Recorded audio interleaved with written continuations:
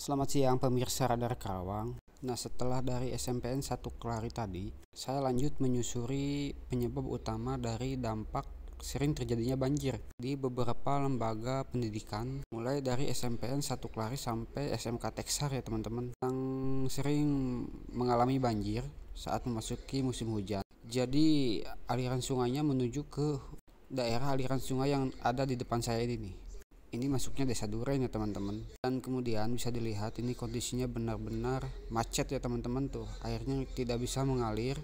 Bahkan tadi malam katanya sempat baru surut ini baru surut ya teman-teman. Karena kemarin sore masih mengalami banjir di mana terjadi luapan. Nah jadi dari uh, aliran sungai ini akan menuju ke arah uh, saluran irigasi yang jembatan atau Sasak Misran ke arah desa Klari ya teman-teman. Sampai jembatan kayak gini tergenang air ya teman-teman. Aduh. Dan kondisi ini sudah terjadi sejak tahun 2000 lalu katanya. Berarti sudah 24 tahun. Sampai saat ini tidak ada solusi dari pemerintah Kabupaten Karawang. Bayangkan saja puluhan tahun sering terjadi banjir namun pemerintah Kabupaten Karawang tidak memberikan solusi.